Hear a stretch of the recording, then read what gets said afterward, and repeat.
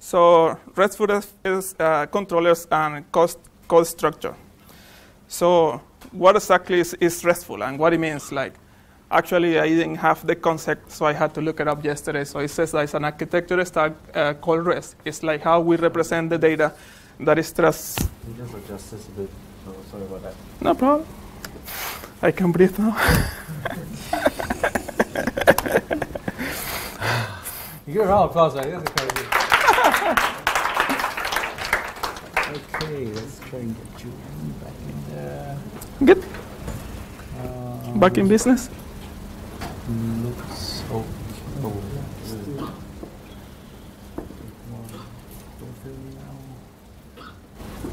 It's all right. Codes break every day, so. Yeah. Uh, hmm. Let me just, just try this out. Turn off. On again. And, um, this, this one. Marca.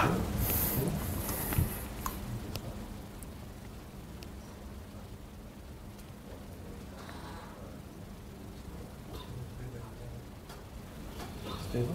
Stable? No. No. Blinking again. No, don't do this to me. No. okay.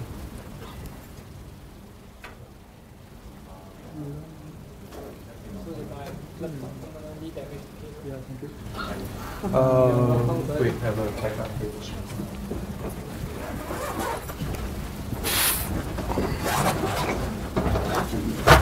It simply this projector keeps Yeah. blinking.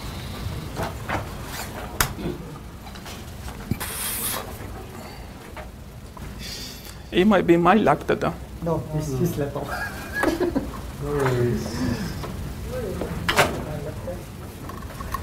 Yeah. Because they have a laptop.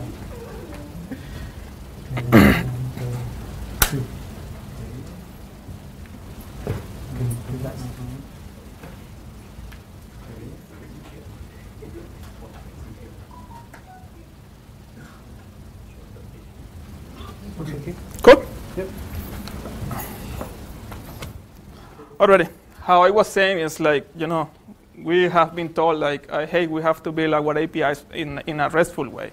But uh, actually, like, uh, we, we, we don't know how to structure the code behind it, or maybe we know and we, are, we, we don't have this concept real clear, right? So before dive into that uh, way, we are going to see like uh, a RESTful is just a representation of the stake between the, the, the browser and the user, right? Pretty much it says like we need to use the, the get, the get uh, method to request data from the server and put post and delete just to send data to the, to the uh, servers, right? So that's pretty much the, the, basic, the basic concept uh, about RESTful. I mean, uh, so how can we apply this to our controllers, right? We can use uh, so many frameworks, right? But you don't need you don't need to be like tied up to a framework. You pretty much can just build your controllers in such a way that your controllers abide to your endpoints. What it means is like you can you can be focused on your endpoints, and if you have an endpoint to, to send data or to persist data to the to the database, you should have like a, at least one method in your controller that controls your resource to represent these changes, right? So we can focus in the seven uh, RESTful method, which is index, show, create, store, edit, and update, also destroy. So usually the index method is just to retrieve data from the database. Like if we have like if we have let's see a dashboard and we need to see the users of the of the system, we have like the, our first interaction is going to be like a grid list, so we can retrieve the, this user from the from the server. So we have the show method, of course, is like if we need to pretty much see more information from a given user. We have the create method, which is to show like a, a creation uh, form to create new user and so on. So whatever you are seeing here is pretty much tied up uh, to what uh, our previous speaker was talking about. Like if we design our APIs in, in a such a way that is RESTful, we can also implement these concepts in, in, in our code. What is the aim of this? We can keep the code clean. This is re- really very important. Uh, and we can, from there, we can like strive uh, towards uh, a better design in our domain. So another thing is like the question that comes around is like, of course, if we have, like for example, if we have an user, we need to to uh, operate. Uh, we need to send, uh, do some operation upon the user resource. So this is easier, right? Because we can retrieve users and we can also save a new user and we can edit a given user. But what about if I have uh, actions upon this user, right? What about if I have a subscription? What about if I have like a uh, booking vouchers? What about if I have a, a, given organization that it connects to our API, but we need to serve keys to these APIs? So how we go about these designs? So if we come back, if we go back to our previous uh, slide that says how we can abide to the, the, the, seven principles controllers, it's like if you have, for example, if you have a, a subscription controller, right? If you have a user that needs to subscribe to your system for some reason, so you can create yourself like a user subscription controller. So if you have this user subscription controller, you can pretty much abide to these seven methods in this controller, and then you, you come back to the, to, to the same eh, establishment, right? I'm going to design my code in such a way how my, my API is working. So in this way, you can keep controllers clean, and you can pretty much design your code towards your domain. So the main principle of this, I'm sorry, is like as a Laravel developer, right like, as I am right now, which is the framework that I'm using the most at the moment, we, we have this error when we don't know where to put our code. We have no clue whatsoever, oh, that was my, my, my mistake what I started. So I started just putting all the logic that I wanted to put in the controller. If I want to do a calculation, put it in the controller. If I want to parse some data, put it in the controller. So what happened is like your controllers are going to end up in like something called God object so that nobody knows what is going on there. So a controllers, the, the aim of the controllers is just to take your response and to, uh, to take your request and give you some response. There is nothing else that should happen in the controller, mostly like take the response, parse the data and send some, take the request, parse the data and send some response to, to the users, right?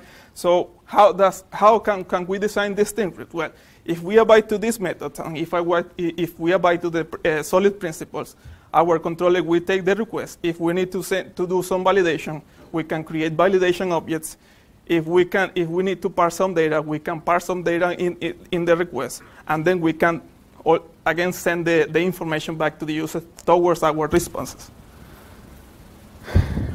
So the question comes around here is like, again, what if I need a different uh, object for a given method? What if I need to, to do something else in my controller? What is going to happen at this point? Well, if we go and design a new object and inject it to our controller, is the object uh, obligation or, or work to, to do this uh, operation for us. It's not the controller. Of course, I'm not saying like if, if you have a controller and you just need to do a, a small operation, it's not allowed to have this small method in the controller. You can have something there. But after you are writing two, three methods apart from the seven principles uh, uh, methods that are RESTful, you will end up with a really, really bloated controller that is, is no longer maintainable, and you are not going to have idea what is going on there. So as I was saying, the controller is, is, is, not, is they are not supposed to handle heavy logic, valid, uh, like validation, calculation, or conversions, or nothing related to, uh, to that. Like if you need a validation, you can have your, valid, uh, your request validation object. You can inject this request in one of your methods, and you can have this logic in somewhere else. If you need to, uh, the same thing you can do with calculation and conversion. As I was saying, if you abide to the principle, solid principles and you inject these objects into your controllers, you will have a way to do this operation towards using another uh, uh, objects. So, yes. So validation objects is uh, they are like part of the request. Uh, you can create a, a, request object that's going to be injected in your controller, and on there is because this object extends from the request. You will have your data there and you can uh, like perform any validation that you want in the way that you need. Query to DBs using repositories. Uh, there is a problem here, and this is a good one, and it's with our uh, Laravel friends. It's like uh, they have this uh, uh, active record, right? The problem with active record is like there is really impossible to unit test those uh, queries there. And if you have an active, re- active record in your domain, all of a sudden your domain, which operates in user, is going to know about everything else that is in somewhere else. I am a Laravel developer, but this is uh, something that is uh, we need to take care of, right? If you need to operate over the database, it's better if you inject a repository that does this function for you. Then you can unit test this code and you can have your logic in, in isolation. So you are building your domain there. So if you are working in, in, in a user model, the user model doesn't need to know about subscriptions or, for example, or vouchers or organizations right? So that's why it's better to inject these services uh, uh, through repositories. And if also the, the repo or the, or the repos is the one in this case that's going to normalize or sanitize the ob- objects, right? Because if we remember what a repository is supposed to do, a repo retrieves data from the database and give you an entity, an entity. It can be, if you are getting just one record from, from database, you will get an entity. And this entity can be parsed, sanitized, validated, or whatever you need in that case. Same thing if you need like uh, more, more than one entity, you can have like a collection of entities. There, there you go. And this is the way kind of how doctrine works. So that's why they, they do this kind of thing. And this is very important, guys. So uh, don't make your controllers to handle heavy logic and just pretty much just have just those controllers just taking your request and send the request to this whatever service you need and just sending back a response from them. So here, like, what about the routes? How I build my routes? Uh, well, there are so many frameworks and libraries that I can help you with that. As I was telling you, like your routes are going to be pretty much your uh, API endpoints. Uh, when we talk about RESTful, uh, uh, everybody's think, okay, this is just an API, right? But you can have an application, like an application that doesn't offer, doesn't offer an API, and these controllers and this application can be treated in the same way. So, for example, if you if you are serving, con- uh, again, if you are uh, modifying a resource over a, uh, over the browser, right? And this browser, of course, in the browser we don't have the patch, we don't have the delete, and we don't have the path method, right? Because they are methods to be handled in the API level. Okay, if we don't have those there, we don't need them there. But we can still have, we can still have our persistent layer, which is going to be the store method or the update method. So we can trim out of the controllers, we can trim the, the, the methods that we don't need, and we abide to the uh, principles, which is uh, stick with the seven methods that offers an API endpoint. So, okay, we can use Laravel Symfony. There is something called like the fastest route or whatever library uh, out there, so you can use anything to build your routes, right? And this is uh, pretty much more than suggestion. It's like don't be afraid to create uh, to create new objects, right? So the the, the, the, the first thing that I have found in, in all my life is like why I'm gonna need to create a different controller when I can have the, all the logic in a controller in one place. So if I need to modify, if I need to maintain this code, I'm just gonna open one file. I'm gonna have two dozen lines in this file, so I can maintain it, right? So this is gonna be like this is gonna be out of control, and uh, I have seen it in my life. I pretty much seen it like every other day, and it's like really difficult to maintain code that is not well designed. So it's, that's why we, we, we, we need to like split our logic in different uh, objects, right? So the, the usual resistance that I, I can I can like uh, I have come across is they are too complex. Like people who don't understand how objects relate between each other. The first thing they will tell you, okay, I'd rather have these procedures here in my controller, and I don't care about your logic, right? So the logic is to spread out in different places, and I can follow up. This is the, the, the things that you will find out there. Like, why do I need to create uh, an object with, uh, with one method? And this is a good one, right? So you will see, like, for example, let's see, another example is if you, you, are, you, you are building an e-commerce. And this e-commerce, you need to, to create products, and you, these products, of course, are going to have pictures, and are going to have uh, likes and whatever. So let's see, let's stick with the, the example between a product and a picture, right? So you can have a controller called products controller. This controller is just going to handle the information, of, basic information of the product, right? But you also can have one controller called uh, uh, product pictures controller, where you can have just one method or two methods. Like even it is it's even possible to have just one callable method we can use invoke in one controller, and it's better to have 200,000 uh, uh, files that send something that will tell you what the what the code is doing than have 2,000 lines in one controller or in one file. Uh, there is a where should I put the logic, right? Well, this is this is uh, really difficult to answer. It's like, for example, what I usually do is I, I, I organize my code based on my domain. If I'm working with products, I will have like a, a root uh, folder called products. And inside this product, I'm going to have a HTTP folder, which represents my HTTP layer. And I will have controllers, middleware, uh, requests, and so on. If you guys are familiar with uh, Laravel, it's pretty much what we have in the, if the, in the app folder by default. So pretty much I'm going to have one app folder per domain. Like if I'm working with, uh, I don't know, if in a blog, I will have a post. So this post, if the post has so much behavior, you, you will find when you need to create this domain section, when there is, there is a part in your system that is attracting a lot of behavior. Like, uh, again, if I go back to the e-commerce solution, right? What is the thing that you will have more behavior on? It's going to be on products. So you, you will have this domain created in your, in your uh, code, and it's going to be pretty much where you are going to start from. Um, the benefits that you, you will see about this, uh, uh, this approach is, is, is scalability. Uh, why? Because if you need to modify something, if you need to, to, to, uh, to change something in your domain, you just need to, to swap one controller, one method, and you don't, need, you, you, you don't need to worry about anything else.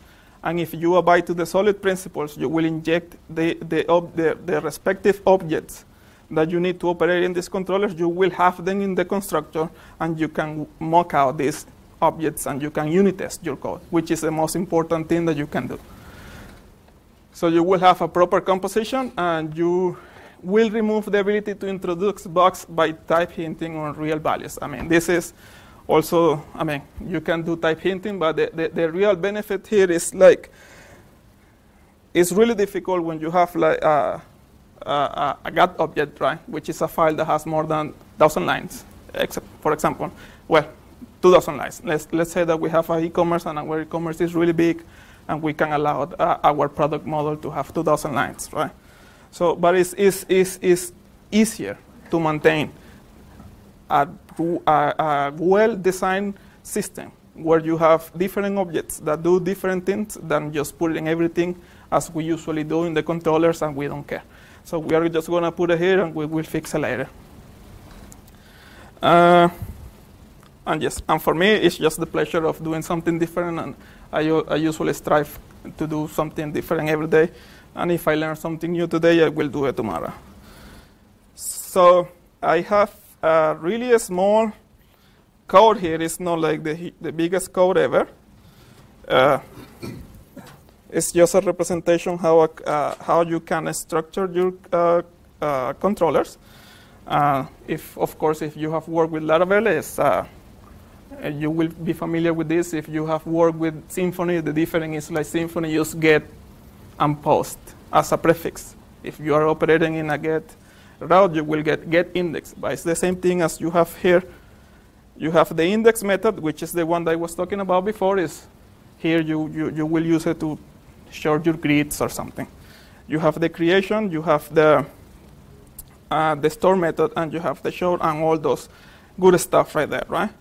Uh, so this is going to be product controller. So the one that I was uh, telling you about is product pictures controller, which is the one that's going to handle my logic related with pictures and um, and products. If you guys have worked in in a in an e-commerce before, you you realize that there is uh, a lot of behavior related to a product. So it's really important that you can split out your logic and you can bootstrap your logic, I mean, towards your domain, right? So, and what I was telling you about in Laravel, you can, of course, these are Laravel uh, related examples. You can achieve this with any framework or if you want to do it yourself. So uh, we can see here, like in the, in the product controller pictures, if you see here in the product controller, we are pretty much if I can find it here, in the update, we are injecting just the Laravel request, right? It's just the plain object. It's nothing is going to happen there. I'm just going to get the whole request, and I'm, I, I will deal, I, I will deal with it here in, inside my, my method, right? So of course, if, if if, if you are anything like me, when you start doing something where you don't know a framework fully, uh, the whole way, to say something, you will put all your logic here, right? And that's perfectly fine. Fine. So, but you can you have the option also here that to inject a different uh, object, which is like let's call it personalized objects. They call it uh, request request object when you can operate before the request hit your route. So in Laravel, uh, you can have um, product requests. You can have these amazing two methods to start with. You have an authorization layer where you can put anything you need there. If you if you return false from there, of course, that, that request is not going to hit your controller. And uh, in the rules here, you can just pretty much type anything here, like something like, uh, let's say that the product title is going to be require. So if, if you are hitting the endpoint with a, with a request that doesn't have a, a pause or, a, or, or data call title there, I mean, the, the, the request is not going to hit your route. And uh, yes, uh, that's pretty much it. Uh, I'm sorry for the fast track, but uh, this is like the second presentation I do ever. So if you have any questions, just hit me up. Otherwise, thank you.